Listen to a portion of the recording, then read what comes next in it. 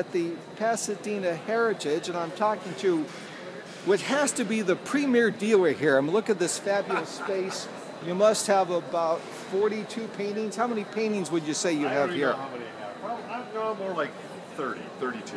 Well, with all the small ones, maybe 35. Okay, 35 we will go with.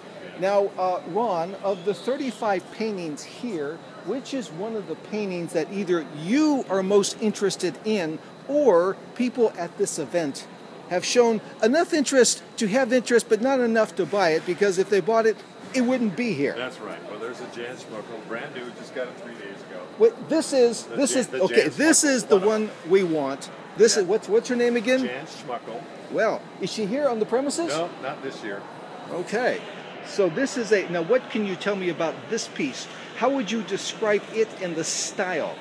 It's a style. It's an impressionist uh, arts and crafts style.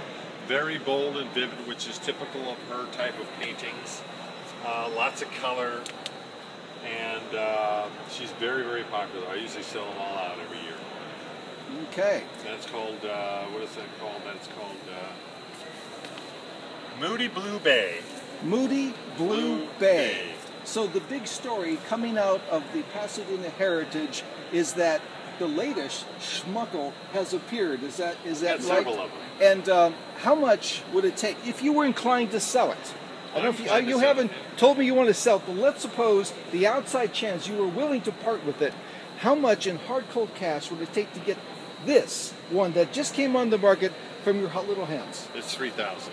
Three thousand would turn your head. Of course, that's my price on it.